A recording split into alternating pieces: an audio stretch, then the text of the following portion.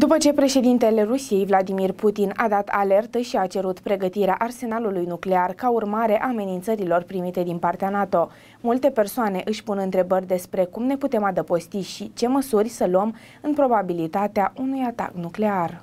Specialiștii spun că atacurile cu substanțe chimice, radiații sau căldura excesivă pot afecta grav oamenii și pot duce chiar la moarte. Un site oficial guvernamental al Statelor Unite ale Americii explică pe larg toți pașii pe care îi putem face pentru a ne salva viețile în cazul în care are loc o explozie nucleară.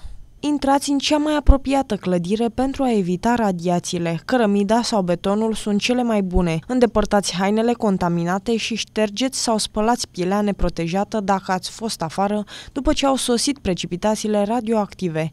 Evitați să vă atingeți ochii, nasul și gura dacă este posibil. Nu folosiți șervețele dezinfectante pe piele. Mergeți la subsol sau la mijlocul clădirii. Stați departe de pereții exteriori și de acoperiș. Încercați să mențineți o distanță aproximativă aproximativ 2 metri față de persoanele care nu sunt din familie. Stați înăuntru timp de 24 de ore, cu excepția cazului în care autoritățile locale oferă alte instrucțiuni. Radiourile care funcționează cu baterii și cu manivelă vor funcționa după o detonare nucleară. Telefonul mobil, mesajele text, televiziunea și serviciile de internet pot fi întrerupte sau indisponibile.